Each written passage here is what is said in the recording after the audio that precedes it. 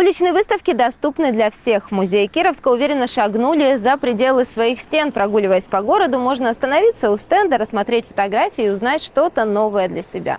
Например, об истории родного края.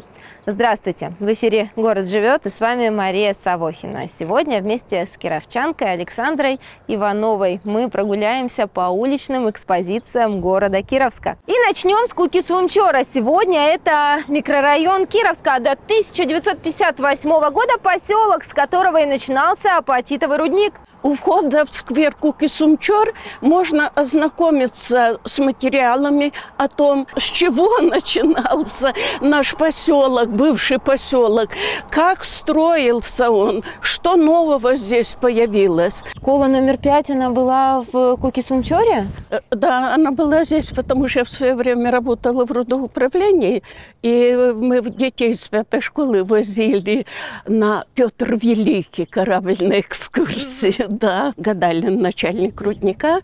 Степан Егорович великолепный такой человек был. Это первый коллектив, которому какое же звание было. Ну, в общем, то же самое, такой сплоченный коллектив. Э, это их спорский рудник. Вообще Дворец культуры – это был центр культурной жизни поселка. Конечно. Марк Сакович Звягин здесь работал. Да, он отсюда пришел уже потом в Кировский дворец. Это же все очень интересно.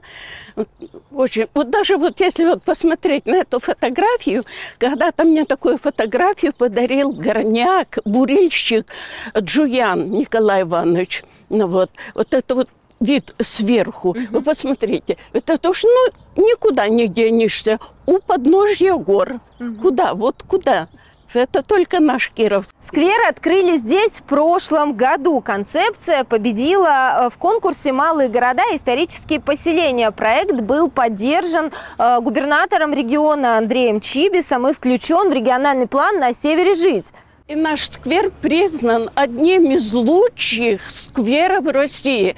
Ну, имеется в виду место для отдыха, потому что здесь есть все. И для того, чтобы там ребята позанимались на спортивной площадке. Здесь можно поиграть в теннис, можно играть в шахматы. Вообще замечательно. Ну, конечно же, это любимое место отдыха Куки Сумчорсов. И очень удачно в концепцию сквера вписались вот эти стенды фотографий, информация на них подготовлена историко-краеведческим музеем. И один из них называется «Улица Кировска». Вот здесь центральная улица тоже носит имя Сергея Мироновича Кирова, так же, как и весь наш город Кировск. Дальше, если подойти сюда, увидим фотографию Лобунцова, геолога, первопроходчик. Там у нас есть Иван Игнатьевич Шилейко, известный доктор, знают все, улица его именем названа в Кировске.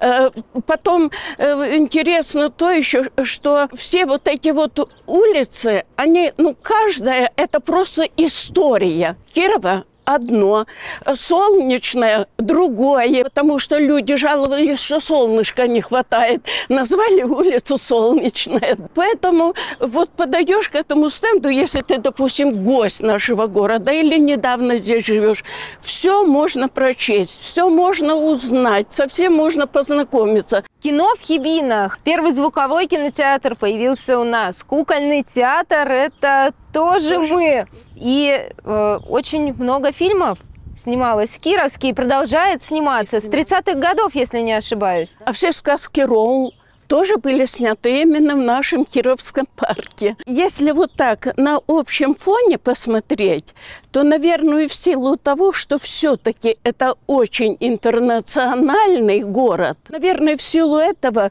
и культура развивалась по разным направлениям, и до сих пор это держится. А когда проживали в шалманах и палатках, где первые деревянные домики, избы читальни были, тоже все было здесь, потому что люди приезжали ну, понятно, спецпереселенцы – это одно, но ведь сколько ехали добровольцы эсэсовцы, потом уже позже комсомольские отряды приезжали. Начиналось с Нивского каскада, конечно, и тогда наши фабрики. Вторая фабрика вообще была ударная комсомольская стройка. Поэтому наш Кировск – это вот такая действительно жемчужина севера. Здесь собрано все. Фильм сняли по моим стихам. Был вечер творческий к 90-летию Кировска. Так и называется. Я север всем сердцем люблю. На дальнем севере зима. Поля снегами укрыты. Полгода солнышка здесь нет, а только звезды светят.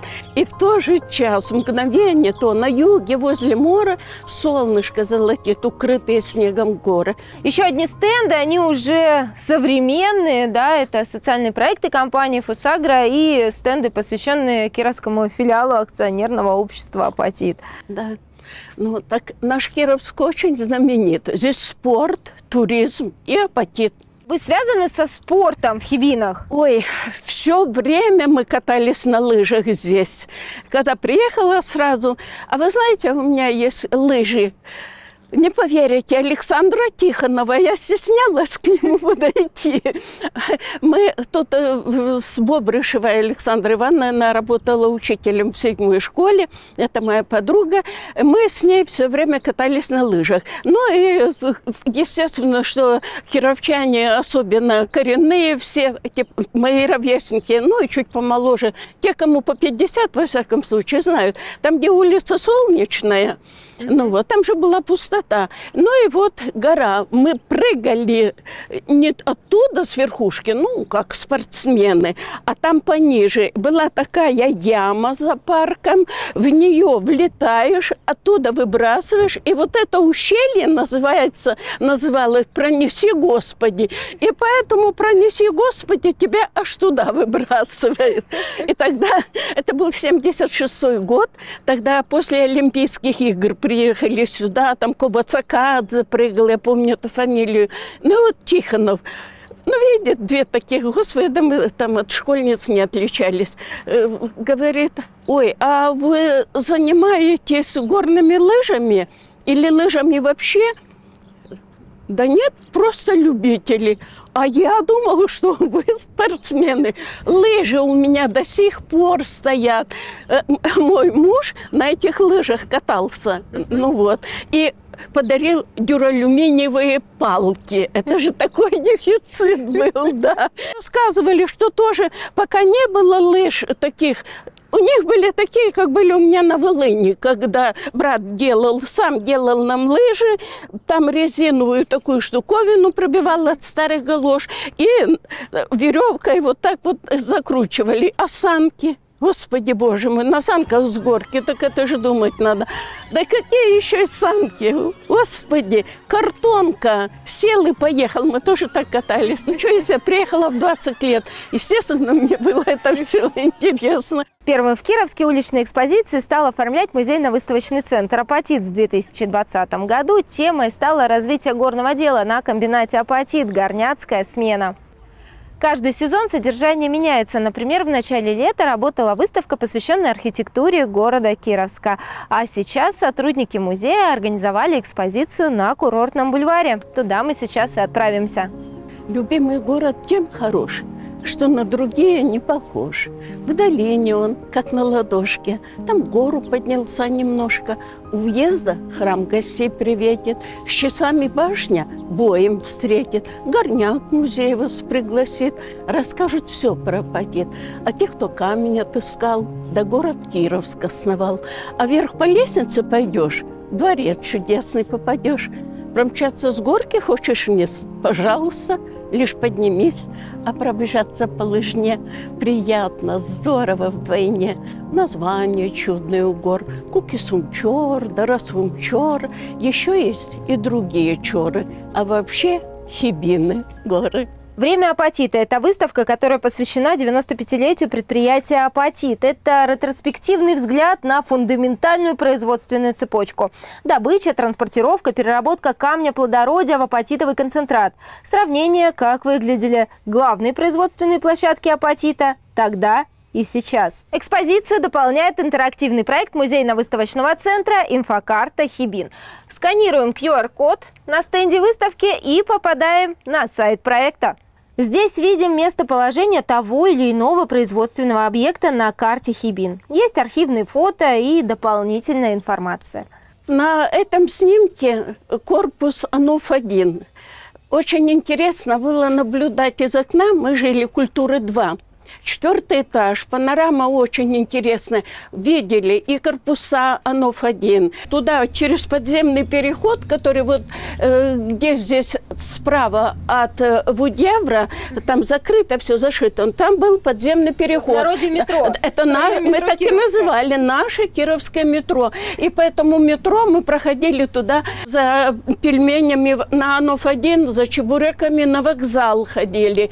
Э, потом мы ходили э, туда просто посидеть, у, ну, поближе туда, э, к озеру. А у меня супруг работал на 15-й подстанции, это 15-я подстанция центральных электрических сетей Кулэнерго.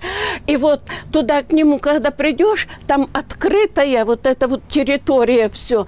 И оттуда, ну, вообще красота какая. Ну, ни с чем невозможно сравнить. Вот это отражение гор в озере. Это же не только здесь, это и там же можно посмотреть.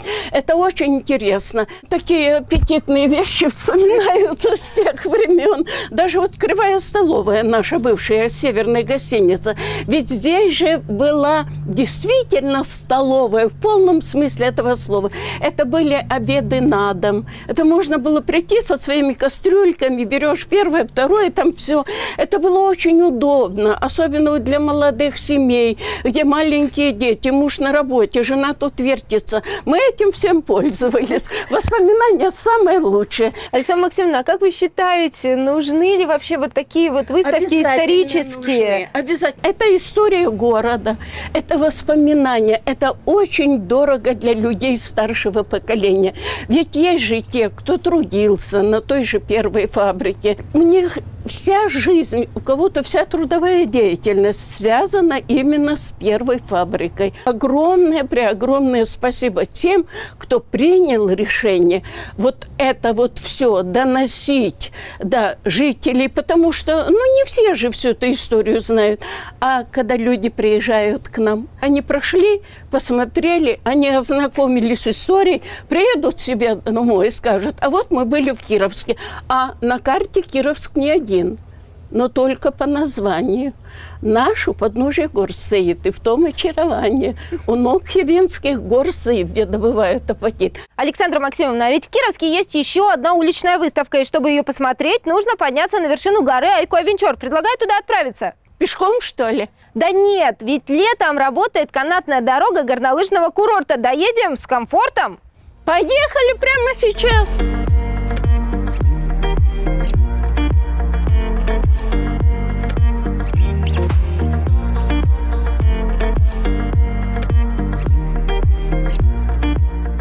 Это первая выставка на вершине Айко Венчора. Ее тема – этапы строительства панорамного комплекса «Плато». Некоторые из кадров уникальны и ранее нигде не демонстрировались. Насколько интересно познавательно, потому что это же не равнина, это гора, это климатические условия, это перепады температурные и так далее. Это очень важно. Смотришь на вот эту красоту, ну где еще такое есть? Никто не может таким похвастаться, а Кировск может. Уличные выставки – это один из рецептов, как не стать Иванами, родства не помнящими. Прогуливаясь по городу, задержитесь у стенда. Буквально за пару минут вы вспомните или узнаете что-то новое, интересное о нашем крае. Ведь мы любим свою родину. Город живет развивается вместе с вами. Для вас это были Мария Савохина, Александра Иванова.